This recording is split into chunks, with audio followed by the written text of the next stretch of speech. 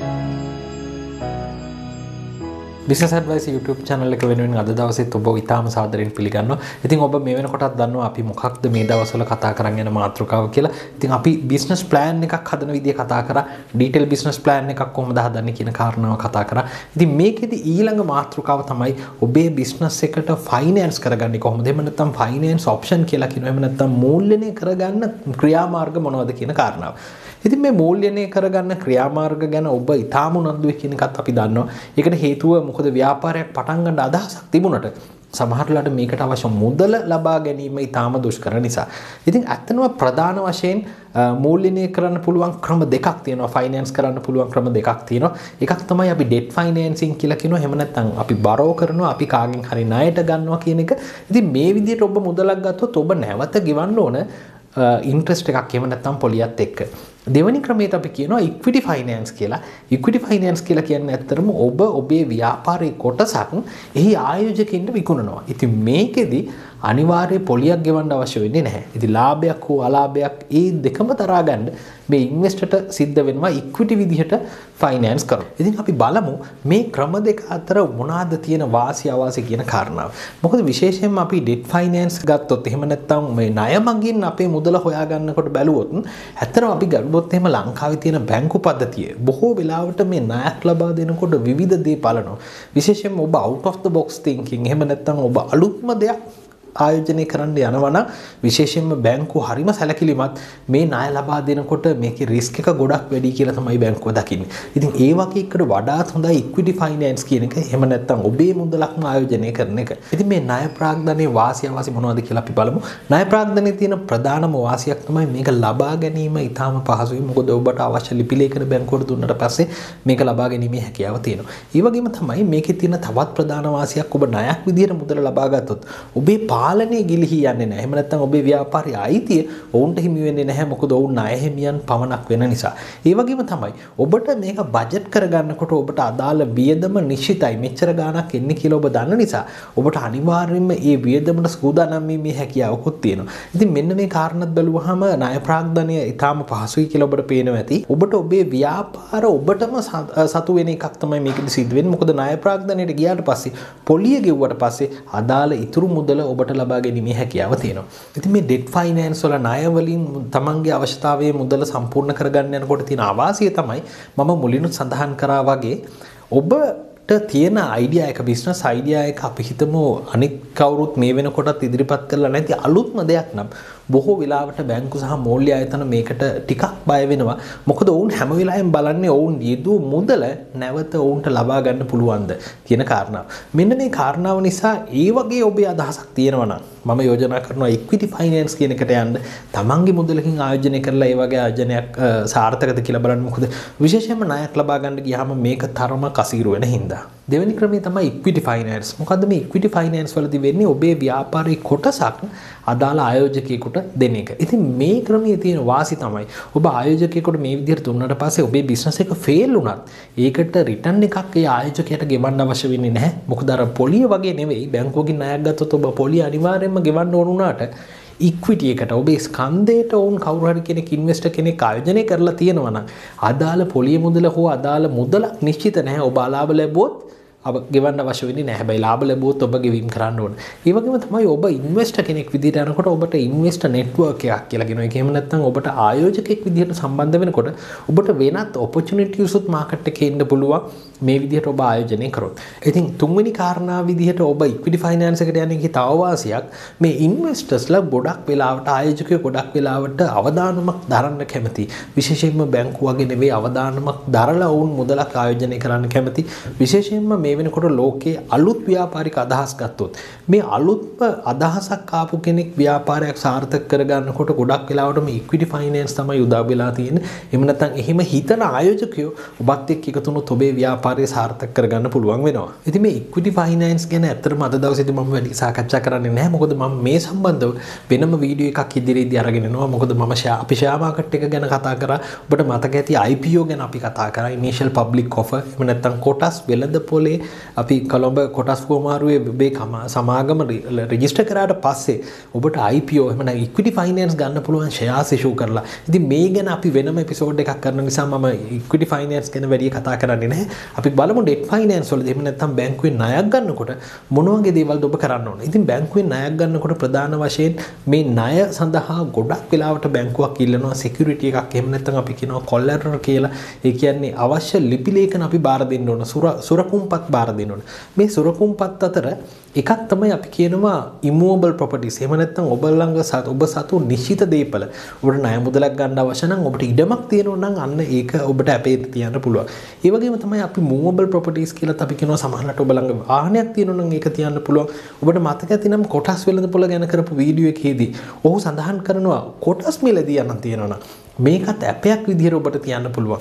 මේ විදිහට මෝබල් ප්‍රොපටිසුත් ඔබට අපේට තියන්න පුළුවන්. තුන්වෙනි කාරණාව ඔබ දන්න පර්සනල් ගැරන්ටර්ස් කියන එක.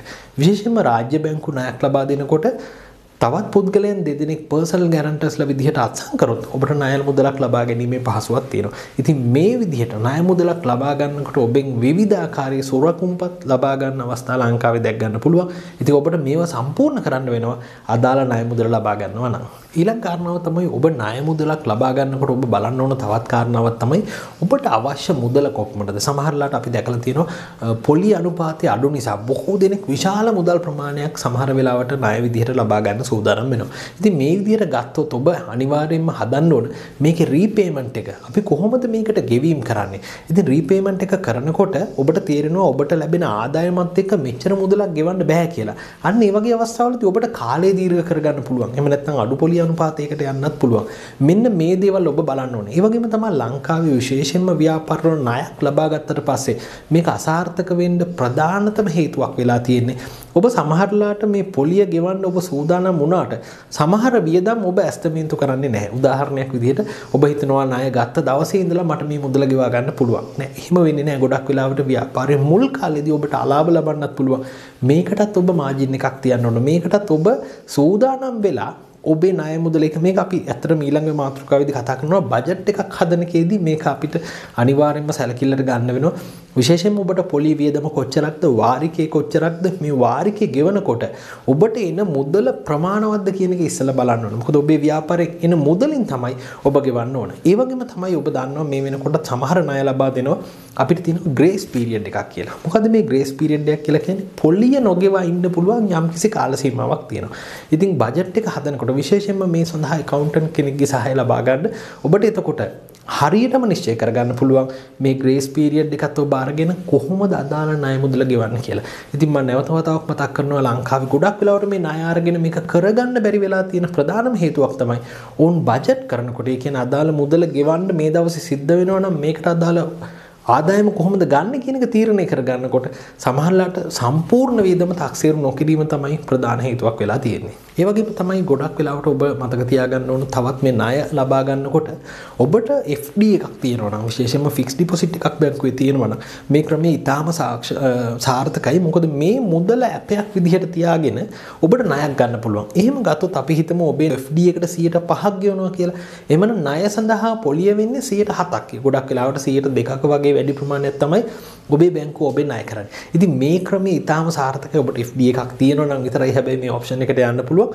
මේ ක්‍රමයට ගියොත් ඔබට ව්‍යාපාරයේ මූල්‍යනය කරගන්න ඉතාම පහසුයි. මොකද මේ ෆික්ස් ඩිපොසිට් එක ඔබ ඒ විදිහටම තියෙනවා. ඒකේ ඉන්ට්‍රස්ට් ඉන්කම් එකක් තියෙනවා. හැබැයි ඒකට 90ක් විතරක් ඔබට ණය ලබාගෙන විශේෂයෙන්ම බිස්නස් එක හොඳට ෆයිනෑන්ස් කරගන්න පුළුවන්. එහෙම නැත්නම් ඔබේ වියදම් ටික නිසියාකාරව පාලනය කරගන්න පුළුවන් මේ ක්‍රමයට ගියොත්.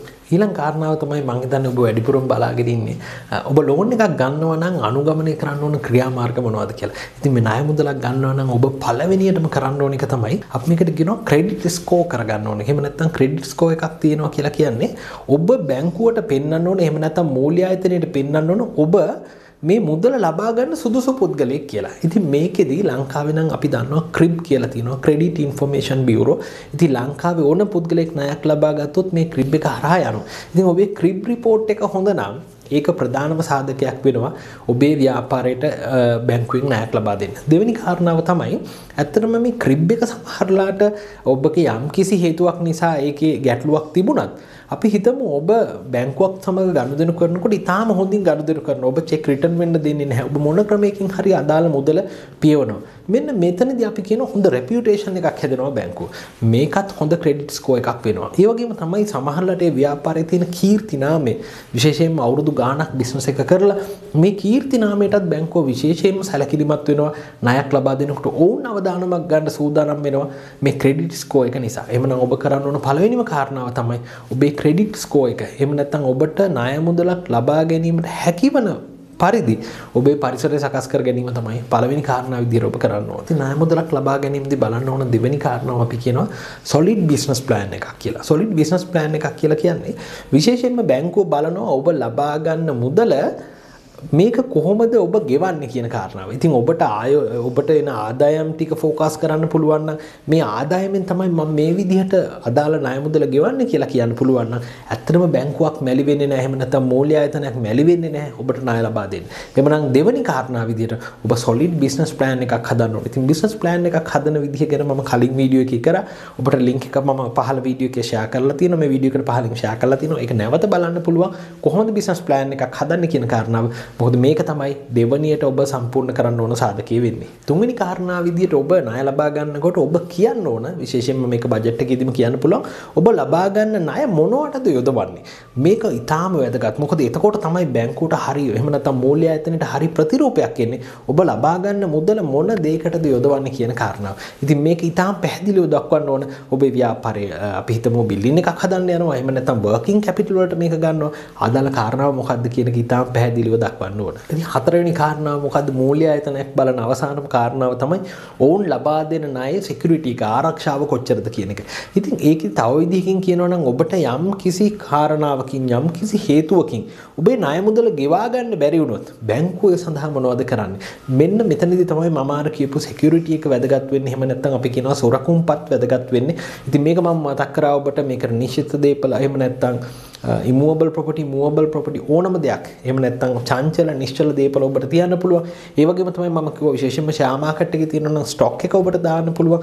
ඒ වගේම මං ඔබට කිව ඉතාම හොඳ ක්‍රමයක් විශේෂයෙන් ඔබ FD එකක් කරන් තියෙනවන මේකත් ඔබට තියන්න පුළුවන් සොරකුම් පතක් විදිර ණය ලබා ගන්නකොට ඉතින් මෙන්න මේ කාරණාව සම්පූර්ණ කරොත් මම මේ කියපු ස්ටෙප්ස් හතර හරියට ඔබ අනුගමනය කරොත් මම හිතනවා ඔබට ඉතාම පහසුවෙන් අය මුදලක් ලබා ගන්න පුළුවන් වෙයි කියලා. ඉතින් අද වීඩියෝ එකේදී මම කිව්වා වගේ අපි සාකච්ඡා කරේ විශේෂයෙන්ම ඩෙට් ෆයිනෑන්ස් එහෙම නැත්නම් ණයක් මගින් කොහොමද ඔබේ ව්‍යාපාරය මූල්‍යයෙන් කරගන්න කියන කාරණාව.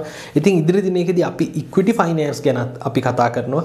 ඉතින් අද වීඩියෝ එක වැදගත් කියලා හිතනවා නම් ඔබට ෂෙයා කරන්න පුළුවන්. ඒ වගේම අපේ YouTube channel එක subscribe කරලා නැත්නම් subscribe කරන්න කියලා ආරාධනා කරනවා. ඒ වගේම Facebook, Instagram, LinkedIn මේ හැම එකේම business advice ඉන්නවා. අපිත් එක්ක එකතු වෙන්න කියලා ආරාධනා කරනවා. එමන තවත් මේ වගේ වීඩියෝ එකකින් ඉතා ඉක්මනින් හම්බෙමු